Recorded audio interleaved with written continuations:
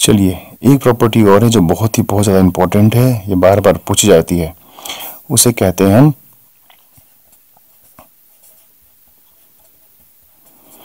Additive inverse इसका दूसरा नाम भी होता है, इसे बोलते हैं negative number negative of a number देखिए नेगेटिव नंबर नहीं बोला मैंने मैंने बोला नेगेटिव ऑफ़ ए नंबर कैसे? समझ में नहीं आया। देखिए, ध्यान से सुनिएगा। जैसे मैंने नंबर लिखा कोई टू ये प्लस का टू है। मैं इसमें क्या ऐड करूँ? कौन सा नंबर ऐड करूँ कि ये ज़ीरो बन जाए? क्या नंबर ऐड करूँ? सोचिए। तो मैं यहाँ पे ऐड करूँगा माइनस का टू क्योंकि टू प्लस माइनस माइनस का टू कट के आ गया? ज़ीरो तो टू का एडिटिव इनवर्स या टू का नेगेटिव नंबर नेगेटिव मतलब माइनस का नहीं होगा नेगेटिव इसका उल्टा उल्टा नंबर नेगेटिव नंबर क्या होगा? जी हाँ टू का एडिटिव इनवर्स कह लो या नेगेटिव हो नंबर नेगेटिव नंबर इसका क्या होगा? माइनस का टू क्योंकि इसको ऐड करने से, इसलिए बोला गया है एडिटिव इनवर्स तो हम कह सकते हैं additive inverse of two is minus two नया समझ में? देखिए। जैसे मैंने लिखा माइनस का थ्री इसमें मैं क्या ऐड करूँ? कौन सा नंबर ऐड करूँ कि ये ज़ीरो बन जाए? तो माइनस का थ्री में क्या ऐड करनी है? प्लस का थ्री देखिए।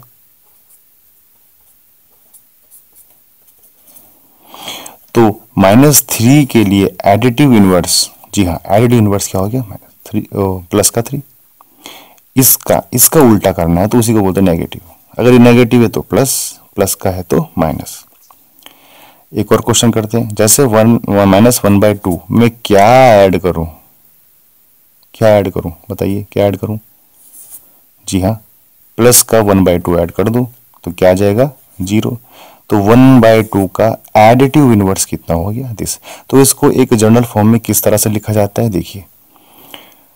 आपको बताना है, जैसे कोई भी नंबर है रैशनल नंबर है, कोई भी नंबर जैसे मैंने लिख दिया ए ठीक है? सर मैंने रिप्रेजेंट कर दिया। तो इसमें क्या ऐड करूँ?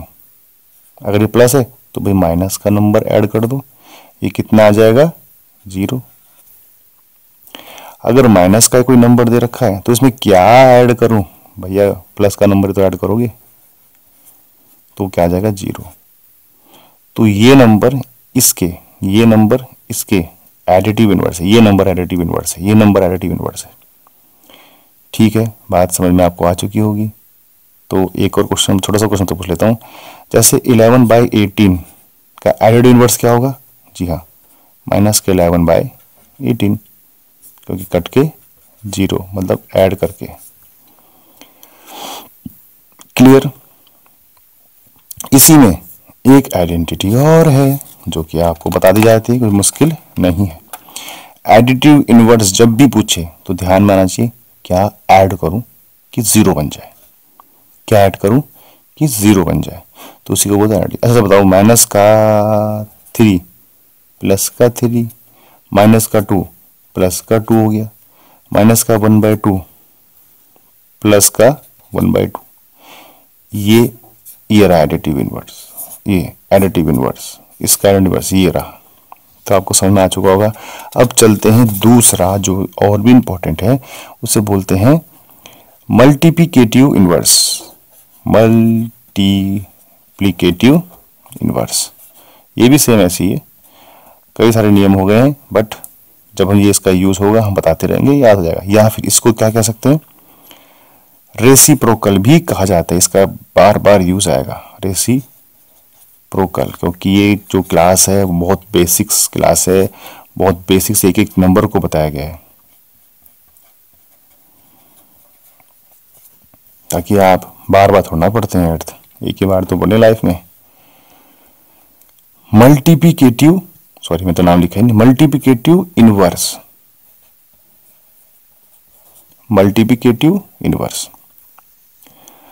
तो मल्टीप्लिकेटिव इनवर्स या कह लो रेसिप्रोकल ऑफ़ ए नंबर किसी नंबर का रेसिप्रोकल या फिर कहो कि उसका मल्टीप्लिकेटिव इनवर्स एक ही चीज़ है।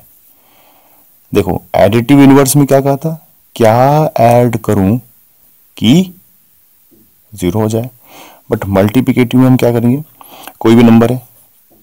इसमें क्या मल्टीप्लाई करूँ? क्या मल्टीप्लाई करूँ कि वन आ जाए आंसर में? तो इससे किससे मल्टीप्लाई करूँगा। जी हाँ वन अपॉन ए कट गया तो आंसर कितना आ गया? वन बात समझ में आ गई? एग्ज़ाम्पल से करते हैं। मुझे बताइए नाइन का मल्टीप्लिकेटिव इनवर्स बताइए, या फिर वैसे पूछेगा नाइन का रेसिप्रोकल बताइए।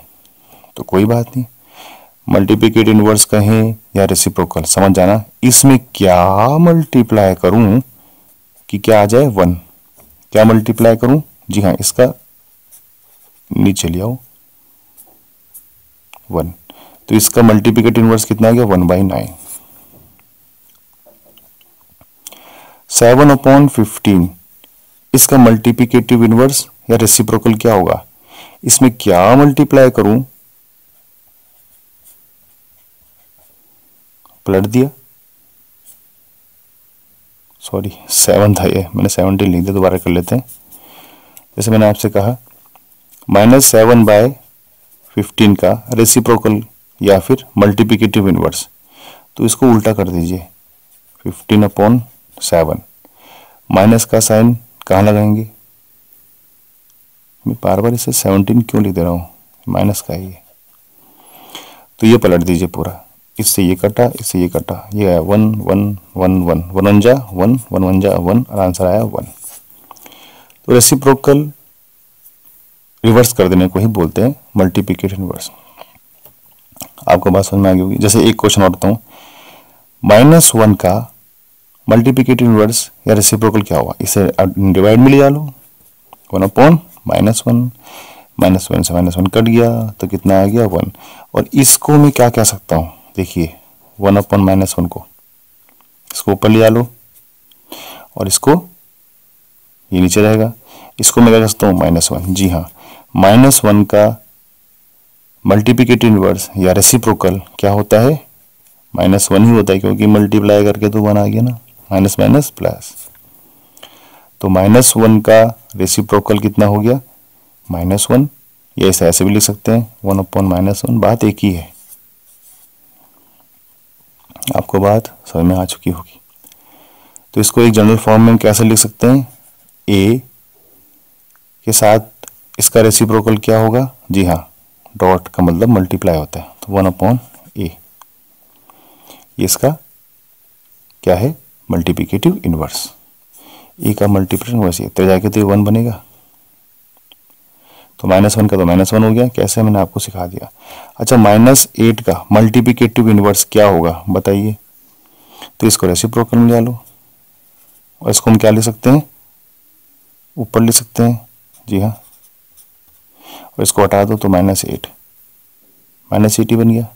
नहीं, इसको ना ऊपर ले जाएँगे। देखिए माइनस एट का मल्टीप्लाई करेंगे। वन अपॉइंट माइनस एट से। ये पूरा नंबर मल्टीप्लिकेटिव इनवर्स कहलाएगा रेसिप्रोकल कहलाएगा, क्योंकि इससे मैंने इसको काट दिया तो क्या बचा? वन तो आई होप आपको मल्टीप्लिकेटिव इनवर्स समझ में आ चुका होगा। मल्टीप्लिकेटिव इनवर्स रेसिप्रोकल का मतलब क्या? एक ही है, क्या ऐड करूँ कि वन आ जाए? आगे क्वेश्चन करेंगे, समझ में पूरी तरह से आ जाएगा। तो मिलते हैं अगली वीडियो में। बाय